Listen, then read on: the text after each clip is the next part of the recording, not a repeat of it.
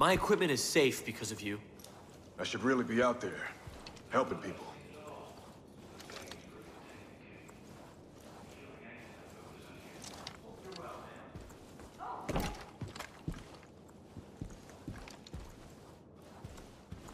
Okay, we're good. Look, I haven't done a whole lot right recently, but this is gonna change that pattern. Just need to test it out and make sure it works. The cult's using the angels to harvest the bliss flowers at a nearby farm. I tested out there. Those things can freak out easily, though. So, go in quietly, set the bait down, and get back to safety. I'm like, okay, maybe 75% sure the formula is correct, so, you know, be careful.